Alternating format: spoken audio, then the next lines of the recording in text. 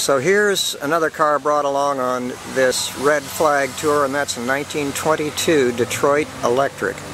This is pretty much an original car. It's never been restored.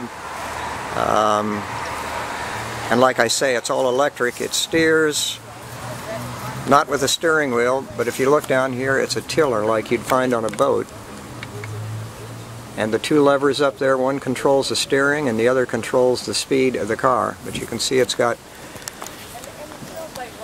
bud vases on the side and then silk curtains that wrap around.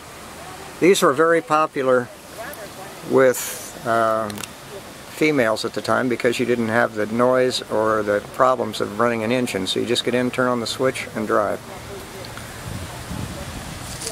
And like I say, we're in Mount Pleasant, Iowa, out on the college campus of Iowa Wesleyan. It's a beautiful campus um, for a little town.